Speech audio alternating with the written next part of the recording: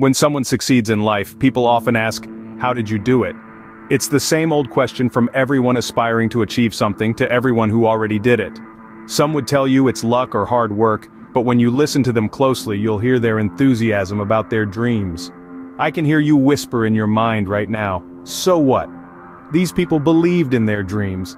They believed their dreams were not too much for them to reach or too weird to even propose to others. They believed in themselves and the goals they made, and that's how they did it. Let me give you some reasons why having faith in your goal has a great impact in achieving it.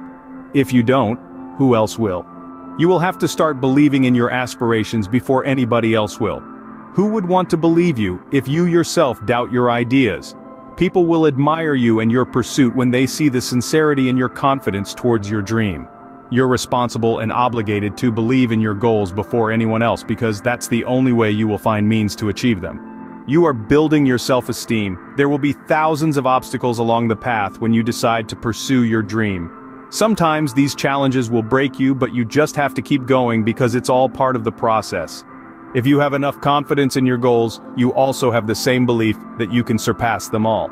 You mold yourself into positivity. You, of all people, should know that a little bit of negativity will bring you and your goals down.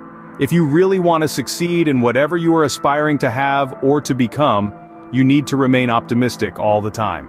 And that is not possible if you lack faith in your goals. You will have to keep the enthusiasm you had the first time the idea came into your mind to keep yourself surrounded with positivity. You are ready to fail. This is not intended to take your hope away from you. You will have to face the fact that failures are waiting along the way. They are there to make you stronger and to equip you to become the person you need to be when success is within your reach.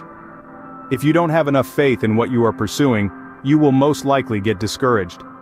But if you know the potential of your goals, you will not be fragile enough to break easily when discouragement comes.